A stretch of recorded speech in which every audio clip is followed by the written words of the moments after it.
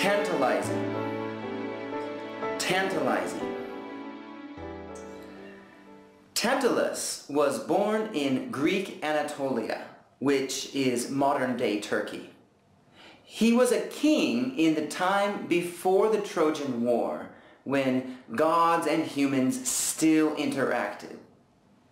In fact, his father was a god, and Tantalus was the only mortal allowed to eat with all the gods in heaven.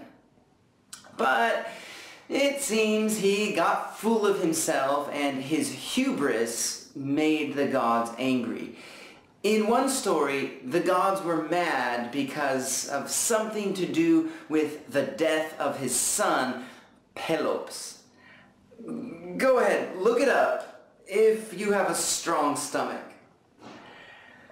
So Tantalus was given a terrible punishment. He had to stay in a pool of fresh water, but whenever he went down to, to get a, a drink, the water level would decrease, and he was always thirsty.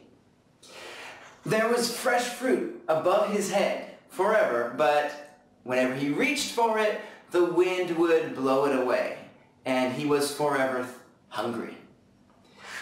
In classic fashion for antiquity, Tantalus's fate was not shared by only him, but his daughter Niobe also angered the gods, uh, a little bit of hubris in her as well, and her children suffered for it.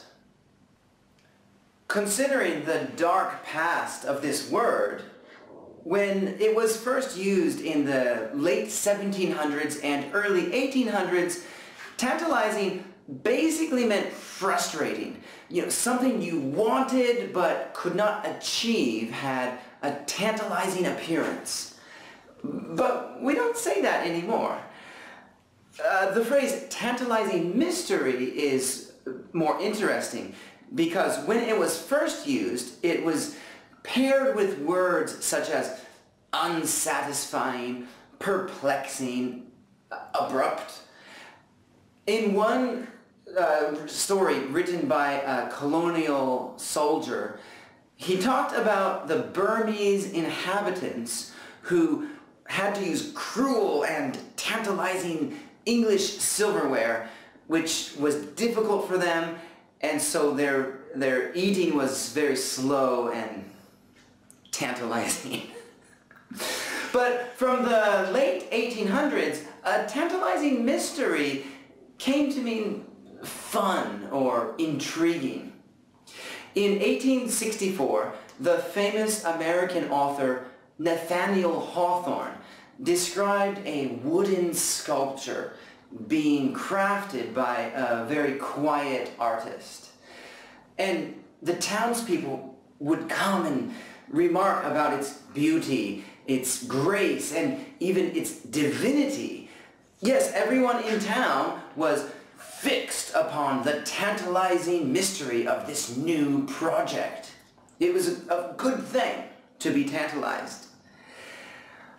And today, unlike our poor Greek king, a tantalizing glimpse of some dessert can make us excited.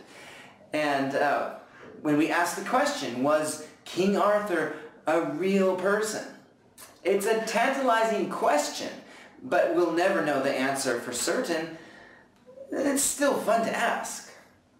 So, these days, when you hear someone call a situation tantalizing, they probably mean that it's hard to achieve, but our imagination can be satisfied even without knowing the real thing.